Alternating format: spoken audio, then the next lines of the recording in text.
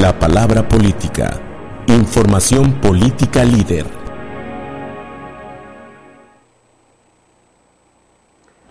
Hoy la diputada Rosalinda del PRD en un programa radiofónico hizo una amplia exposición de la ya discutida y famosa ley de asociación pública privada que está promoviendo el gobierno de Arturo Núñez.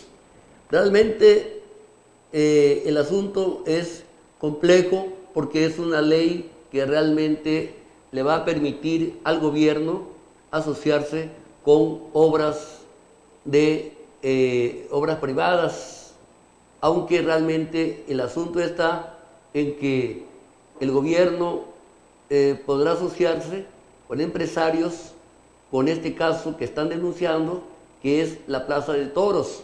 El gobierno hace la obra, eh, la remodela y cualquier eh, empresario puede asociarse con el gobierno para que, ella, para que esa empresa administre esa obra.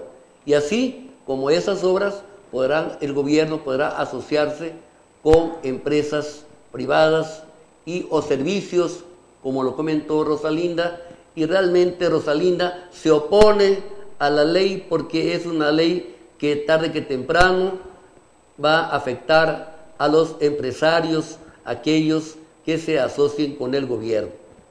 Y el asunto es que Rosalinda, pues, eh, se opone totalmente a esta ley, también la diputada eh, y realmente está creando una gran polémica y cuestionó al gobernador Arturo Núñez de que realmente esto es muy similar a lo del FOA Poroa. Porque resulta que si el empresario quiebra, la empresa quiebra, el gobierno tiene que pagar esa deuda. Y entonces ahí es donde viene el conflicto y el problema y la discusión.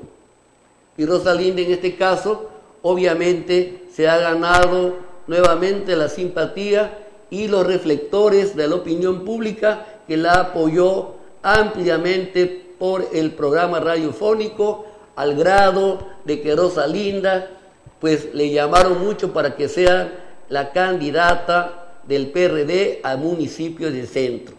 De ese tamaño llegó la discusión de eh, la famosa ley de eh, asociación pública privada, que es muy compleja, tal como lo escuchamos hoy, pero realmente la que se llevó la mañana y volvió a poner al gobierno contra la pared y lo puso además y le recordaron el fuego a proa nuevamente a Arturo Núñez, lo llevó Rosalinda y además dijo Rosalinda que tanto ella como Arturo Núñez siendo senadores votaron en contra de esa ley a nivel federal.